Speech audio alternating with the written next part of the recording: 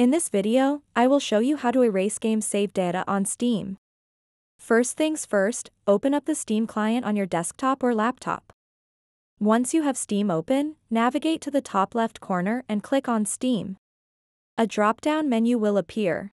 From there, select Settings. Now that you're in the Settings menu, look at the left sidebar and click on Cloud. Here you'll find two main options related to Steam Cloud.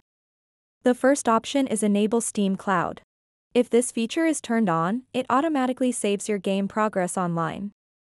To erase your local save data effectively, toggle off this switch next to Enable Steam Cloud.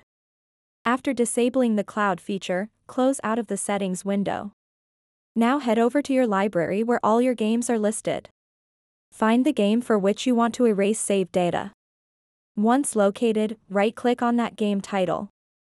In the menu that appears, hover over Manage, then select Browse Local Files. This action opens up your File Explorer directly in the game's directory. Inside this folder, look for a subfolder named Save or something similar.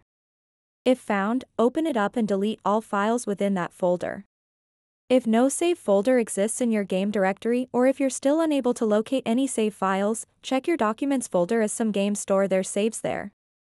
Simply navigate there and delete any relevant files if present. If you're still not having any luck finding those pesky save files, don't worry. I have one more method we can try using an internet browser. Open up any web browser and head over to the official Steam website. In the search bar at the top right corner of the site, type in and search for your desired game. When you've found it, look closely at its URL specifically for app slash followed by a series of numbers. Copy these numbers as they are crucial for our next steps.